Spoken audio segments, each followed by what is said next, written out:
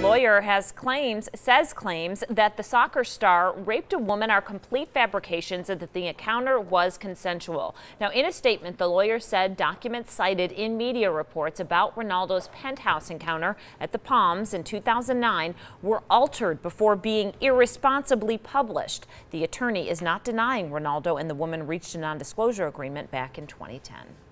Congratulations.